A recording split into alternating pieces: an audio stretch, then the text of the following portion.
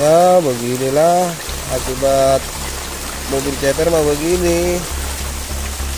Untuk sementara diganjel dulu diganjel.